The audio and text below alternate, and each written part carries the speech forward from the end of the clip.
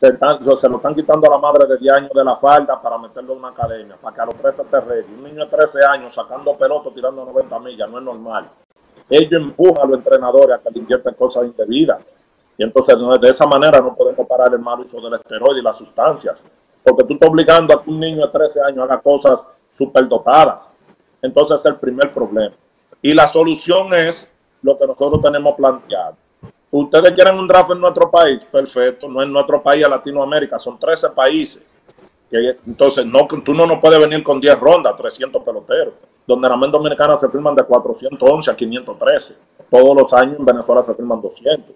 So, nosotros del 2015 para acá, las firmas promedio son de 600 a 750 peloteros en Latinoamérica. ¿Por qué tú no quieres poner un draft con 10 rondas o 12 rondas? Es un abuso. Y otra cosa es, el CAP, el tope son 6 millones, tú le das 5.3 a Domingo y ese equipo nada más tiene 700 para firmar el resto de los peloteros. Tienen que subirnos, porque somos 13 países, el tope del CAP a 11, 12 millones de dólares para que dé suficientemente para firmar los atletas de buen calibre. A Pozón le dieron 5 millones, ¿con qué se quedó Plan para firmar? Con nada, se quedó con 800 mil dólares. Entonces, ya está bueno de abuso. De la manera que se puede establecer un draft con una organización en nuestro país es fácil. Es que por decreto el presidente y el gobierno decreta una federación o una, o una comisión de ex peloteros y entrenadores reconocidos de nuestro país, formamos una oficina que se llama la Federación de Representación del Pelotero Amateur y del Entrenador. Porque así como tú no ves, nosotros tenemos una asociación de entrenadores en el cual yo soy partícipe, que hemos resuelto muchos problemas en ese banco de HD, que después que llega el bono, los familiares no le quieren pagar a esos entrenadores después de durar tres años con ese niño dándole de todo. Entonces, ¿cómo se resuelve?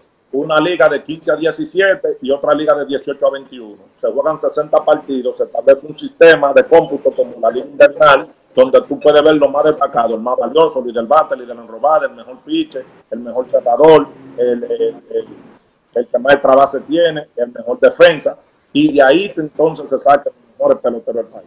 No menos de 25 rondas, porque esa misma liga se plantearía en Venezuela, en Colombia, en Nicaragua, en Panamá, en esos lugares para sacar los mejores atletas. Y ese sistema que se ha visto por los 30 equipos aquí en Estados Unidos, Corea, Japón y en todas partes del mundo, como cuando tuve la liga de invierno, cuando yo estoy aquí, que veo los números de aquí por el sistema de la plataforma de cómputos.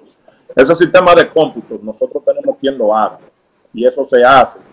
Y nosotros simplemente necesitamos el apoyo del gobierno, porque allá la MLB toma decisiones sin respetar, respetar el ministro de Deporte, Ricky Novoa, ni la Federación de Béisbol, la NUN, ni a Nina.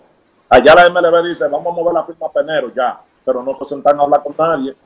Allá ahora van a cortar la firma porque ahora los peloteros 2019 y los 2020 se van a juntar en enero para jugar verano el año que viene. ¿Qué va a pasar? Los 2019 ya cobraron su bono. A los 2020 que tenían palabreado, a la mitad lo van a mochar.